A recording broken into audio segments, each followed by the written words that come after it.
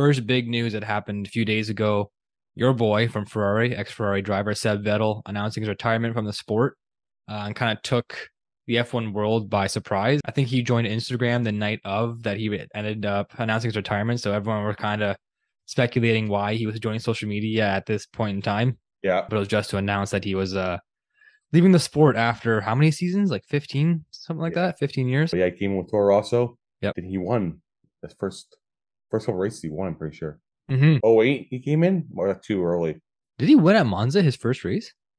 Was it No, Monza? I think I think why do I want to say it's Japan, but I could be wrong. It might have been Japan. I know. I just have I have Monza in my head just with the Vettel Ferrari. It, it would be like a perfect dream come true Right. kind of thing. One of the greats for sure. Oh, Ford you're four right. time. You're right. It was a 20, 2008 Italian Grand Prix. Yeah, I thought so. Yeah, I thought Monza like stuck out of my mind.